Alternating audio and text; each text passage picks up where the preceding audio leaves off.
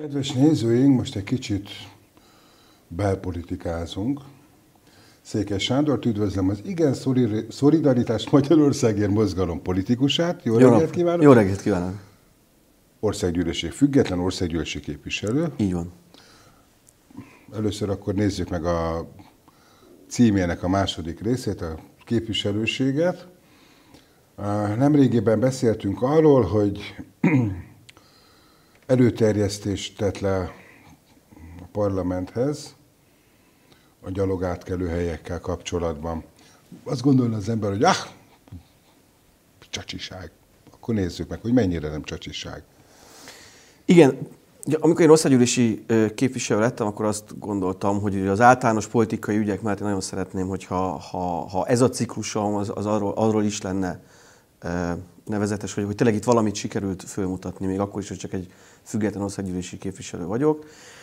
És hát nagyon gyorsan ránk talált ez a elég komoly ügy, ez a, ez a gyalogos átkelő probléma. Tudni Lik Magyarországon 2019-ben naponta három embert ütöttek el gyalogos átkelőhelyen, és egyébként még egy csomót olyan helyen, ahol nem volt zebra, de, de, de kellene. És akkor ennek elkezdtünk utána nézni, és kiderült, hogy egy nagyon régi szabályozás van, ami már nagyon-nagyon elavult, és egyáltalán rengeteg anomália van az, az önkormányzatok, a közútkezelők és a rendőrség között, illetve hát az egész technika már nagyon elavult. És akkor ebből mi elkezdtünk ö, ö, először is adatot gyűjteni, meg információkat, ö, és a, beszéltünk emberekkel, az Igen Szólítás Magyarországért Mozgalom szervezete, vidéken, meg Budapesten is ugye megkérdeztük az embereket, és ebből összejött egy zebra minimum, hát hogy mit, mit kellene csinálni. És ezt terjesztettem be a, a gazdasági bizottságba, és hát nem volt egyszerű, de végül is nem utálták el, mert ugye nem, nem tehát ugye, ugye ilyen nincs, ugye a gazdasági bizottságban is fideszes kormánypárti többség van, és hát alapvetően nem szavaznak meg semmit, nem engednek át semmit a plenáris ülésekre, amit az ellenzék kezdeményez. Nem engednek át, pont. Ezt a dolgot ö, hosszas, ö, hosszas, tehát legalább egy éven keresztül gyűrtük egymást, mire, mire azt mondták, hogy jó, akkor legyen, és úgy tűnik, hogy ez nem úgy tűnik, hanem hogy ebből most arra biztosan állíthatom, hogy ebből törvényjavaslatok lesznek, hát elég sok törvény, tehát a, a, a, idén a második fél ezek meg lesznek szavazva, mert előterjesztések készülnek, illetve már most is elkerült ez az úgynevezett zebra minimum az önkormányzatokhoz, és ott elkezdik ezt a dolgokat alkalmazni. Úgyhogy én azt gondolom, hogy ez egy nagy dolog. Nyilván a cél az az, hogy hát nem egy éven belül, mert ez nem egy, ez nem egy ilyen rövid folyamat, de én azt szeretném elérni, hogy lehetőleg minél hamarabb, de éveken belül tényleg közelítsen a nullához a Magyarországon zebra, ez gyalogos átkelő helyeken történő közúti balesetek, és hát leginkább a halálos uh-huh. balesetek száma. Akkor ugye lehet azt mondani, hogy több lesz a kijelölt gyalogátkelőhely, Hát itt egy csomó minden, csomó minden fog Lámpával védett. Lá, lámpákkal, tehát jobb lesz a közvilágítás, jobban meg, tehát ugye az, ugye az van benne az zebra minimumban, hogy legyen jobban megvilágítva, legyenek fölfestve, amik úgy vannak, az elkopottakat ugyan tessenek már fölfesteni. Ö, ö, ö, iskolák, óvodák közében sokkal-sokkal lassabban haladjanak az autók, tehát a 30 kilométert izé, vezessék be kezdjük el használni az okos zebrákat, hogy ezek mindenféle variáció van ebből, de leginkább úgy tudnám elmondani, hogy amikor gyalogos közelít a zebrához, akkor kezdjen el villogni a zebra. Ez a legbutább okos zebra, ennél sokkal okosabbak is vannak. És az is benne van, hogy a mindenféle autóvezetőt, autóvezetést elősegítő applikációkba, Vaze, Google épüljenek bele azok, hogyha zebrához közelít, jelezze, a, jelezze hogy hello, zebrához közelít. Világos. Jó, akkor nézzük a másikat, és a kettő összefügg valamennyire, hogy azt is olvastam az iszomról, ezt a két embert nem tudom. Igen, szolidaritás. Ez Jó. is, így is, így is, mi így szoktuk használni, hogy igen, szolidaritás. Jó, az igen szolidaritásról olvastam. Most itt egy kis vizet hozzá. Hogy azt mondták, hogy nem csak, hogy mérhető a igen szolidaritás, hanem hogy a küszöb közelébe vannak. Már a parlamenti küszöb. A parlamenti küszöb közelében, természetesen, igen, igen, igen. igen. Hiszen igen. jövőre választunk. Így van. Ah, lehet ezt konkretizálni? Mert nem tudom, hogy Ki, ki mérte ezt, és hogyan mérte ezt? Vagy a saját mérés? Igen, tehát mondom, nem ezeket közémutatókkal mértük, de szerintem menjünk sorjában. Igen.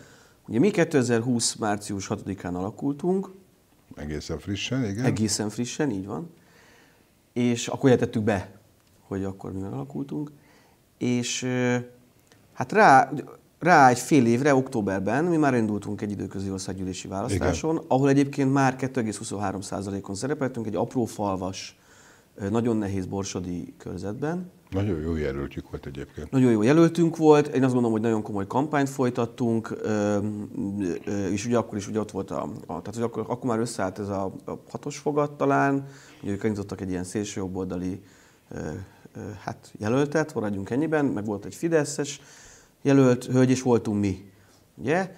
És ugye így ebben a szituációban mi, mi egy fél éves pártként szereztünk 2,23-at. Ezt csak azért emelem ki, mert például egy Jobbik, aki 2000-ben alakult, 2010-re érte el, hogy bejutott a Magyarország gyűlésbe, szeretném jelezni. Mi egy fél év alatt hát egy választáson 2,23%-ot szereztünk, ami szerintem, szerintem egy nagyon jó eredmény. És ugye utána kezdtük el monitoringozni saját magunkat, hogy akkor, hogy akkor hogy állunk, mint állunk, és elkezdtünk tárgyalni közémutatókkal. Két mérésünk van most jelen pillanatban. Az egyik egy nézőpontos, a másik pedig egy ö, mérés.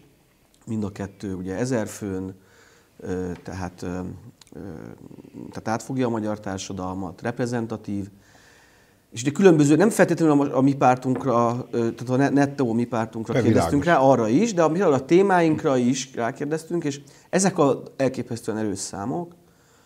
A publikus szerint, ugye rákérdeztünk, ugye mi szocializmust szeretnénk. Tehát ugye nem kapitalizmust, meg nem fogyasztói társadalmat, hanem szocializmust szeretnénk. Ugye ez egy, ez egy, nagyon, egy egészen éles ö, ö, különbség. És megkérdeztük az embereket, hogy, hogy ők mit gondolnak erről, és az jött ki, hogy a lakosság 40%-a, a lakosság 40%-a szeretne ö, szocializmusban élni, egy ilyen 21. századi szocializmusban.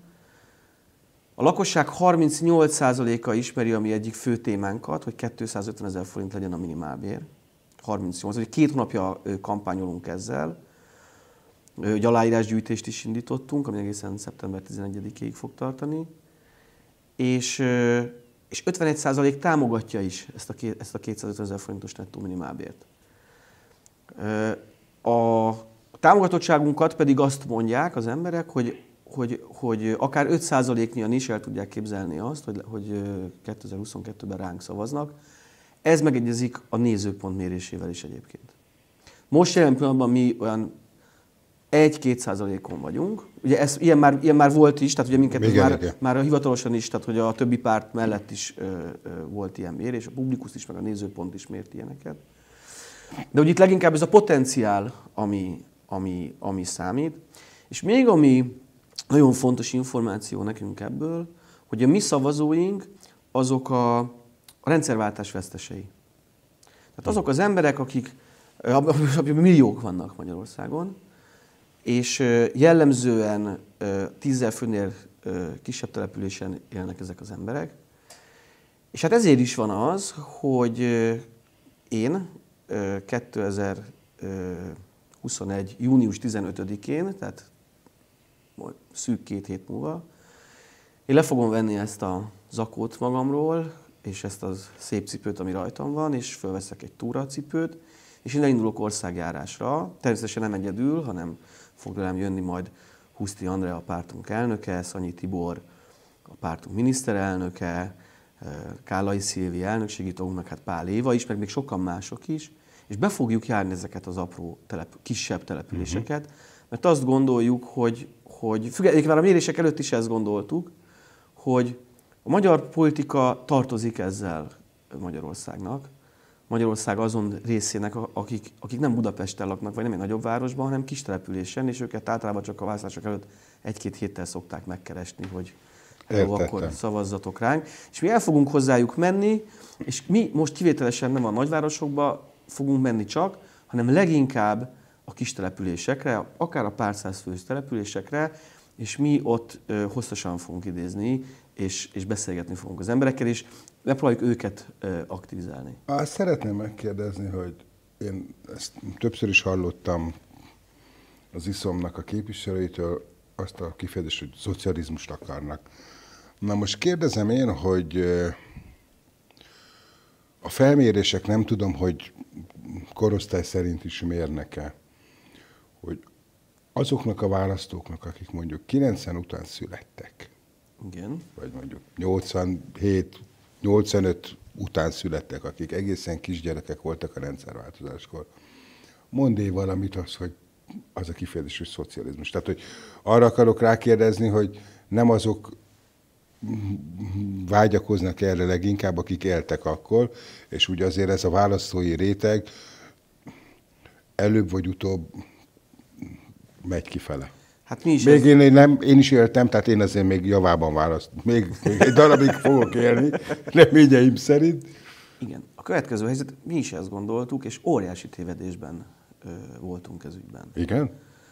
Ö, és hogy és nem is értettük, a felmérések azt mutatják, hogy nekünk a, a, a potenciális jelöltjeink, a, tehát a 44, 44 éven aluli, ö, tehát kisrepülésen lakó dolgozó, 40 éven aluli, 40-44 éven aluli emberek, ami fő bázisunk szavazóra, ott, ott van nekünk nagy támogatottságunk.